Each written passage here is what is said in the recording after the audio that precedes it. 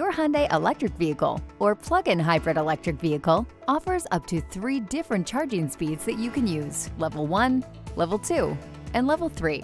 All Hyundai electric vehicles and plug-in hybrid electric vehicles can use level 1 and level 2 charging. Level 3 charging can only be used by electric vehicles, or EVs, and is not compatible with plug-in hybrids or PHEVs. Level 1 is often called portable charging and is the slowest charging option. Most Hyundai EVs or PHEVs include this type of charger, it uses normal 120 volt AC household electrical current. It's perfect for overnight charging for a PHEV, but can take up to more than 70 hours to fully charge an EV, depending on battery size. Level 2, or 240 volt AC charging, is up to 8 times faster than Level 1. This charging solution requires a 240 volt charger, which is typical of home EV charging units and is commonly found at public charging stations. Level 2 chargers can take up to 7.5 hours to charge a vehicle to 100% full battery. Level 3 or DC fast charging is the fastest solution because it uses industrial level 480 volts or 800 volt high powered charger units at public or commercial charging stations.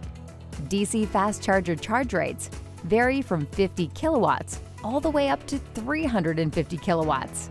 Level 3 chargers provide the fastest charging, with the ability to charge to 80% battery in less than one hour.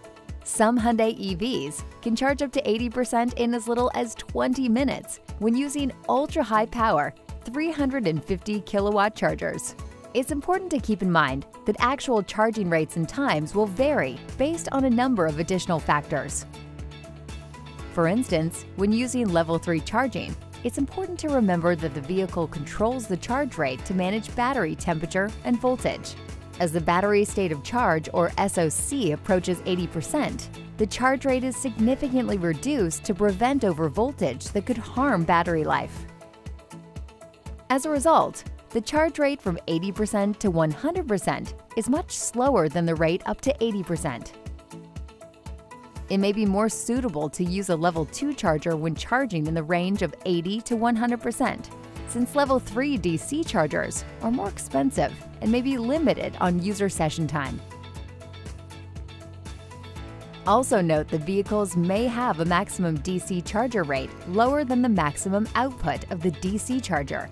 See your owner's manual for the maximum charge rate for your Hyundai EV.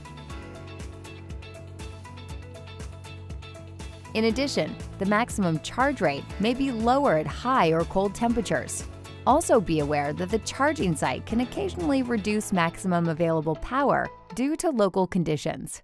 Depending on your model and model year, your vehicle could have one of two different types of charge ports. See the electric vehicle charge ports video to learn which type yours has and which stations you should use.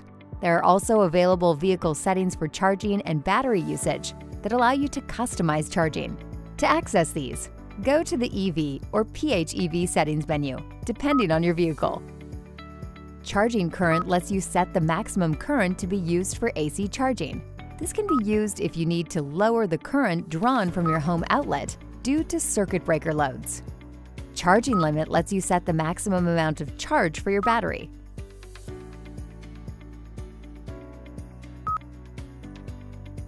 When you have selected a DC charging site as your destination through in-vehicle navigation, turning on battery conditioning mode will allow the EV battery to preheat ahead of arrival to optimize DC charging.